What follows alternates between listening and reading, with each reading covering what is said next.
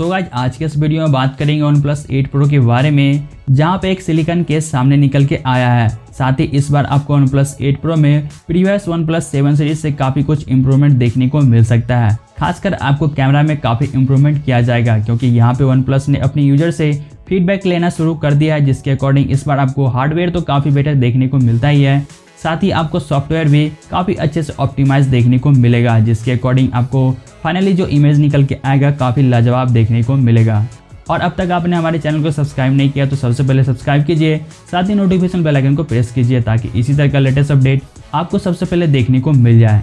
तो यहाँ पे एक स्मार्टफ़ोन एसोसरीज मैन्युफैक्चर कंपनी ने सिलिकन केस को सामने किया है, जिसके अकॉर्डिंग देखा जाए तो आपको बैक साइड में एक होल देखने को मिलता है। और यहाँ पे आपको ट्रिपल कैमरा का वेरिएंट दिया जाएगा, जिसका प्राइमरी सेंसर आपको 64 मेगापिक्सल का हो सकता है। वहीं कुछ लिख्स कहते हैं कि आपको 108 मेगापिक्सल तक का दिया जा सकता है बट मुझे ऐसा लगता है कि आपको 64 मेगापिक्सल का ही दिया जाएगा। और ये हार्डवेयर आपको सोनी का ही सेंसर देखने को मिलेगा। इसके अलावा आपको वाइड एंगल लेंस और आपको एक डे सेंसर भी देखने को मिलेगा। वहीं आपको लेफ़्ट साइड में टॉप लाइट में आपको थ्री डी लेंस दिया जाएगा। साथ ही आपको नीचे साइड में एक क्वाड एलईडी फ्लैश दिया जाएगा। वहीं बात करें इसके नीचे के बारे में तो यहाँ पे आपको मेन माइक्रोफोन दिया जाएगा। इसके अलावा आपको बीच में चार्जिंग यूएसबी टाइप सी का पोर्ट देखने को मिलेगा और आपको राइट साइड में एक स्पीकर ग्रिल देखने को मिल जाता है, जिसमें आपको डॉल्बी ऑडियो का टेक्नोलॉजी भी देखने को मिलेगा। लेकिन इसमें आपको 3.5 पॉइंट का ऑडियो जैक मिसिंग देखने को मिलता है। यहाँ पे देखा जाए तो वन प्लस अपने 60 सीरीज़ से ही 3.5 ऑडियो जैक को डिसकंटिन्यू कर दिया है। साथ ही आपको टॉप में होल देखने को मिलता है, जिसमें आपको सेकेंडरी माइक्रोफोन दिया जाएगा।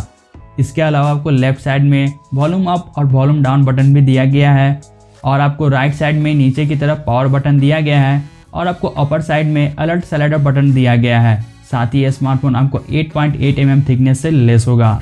तो गैज बात करें इसके प्राइसिंग और लॉन्च डेट के बारे में तो ये स्मार्टफ़ोन आपको 15 अप्रैल को लॉन्च किया जाएगा और इसका प्राइस आपको बेस वेरिएंट का, यानी कि eight G plus one twenty का प्राइस अराउंड फिफ्टी थाउज़ेंड हो सकता है। और साथ ही इसका हायर वेरिएंट का प्राइस आपको sixty to sixty five thousand होगा। तो यहाँ पे प्राइसिंग आपको वन प्लस सेवन सीरीज़ से थोड़ा सा ओवर प्राइस देखने को मिल सकता है, जो कि वन प्लस ने भी क्लियर किया था कि आपको वन प्लस एट सीरीज़ का प्राइसिंग थोड़ा सा ज़्यादा देखने को मिल सकता है, क्योंकि यहाँ पे आपको कुछ एस्पेक्ट्स ऐसे हैं जो कि आपको वन प्लस सेवन सीरीज़ में देखने को नहीं मिलता है।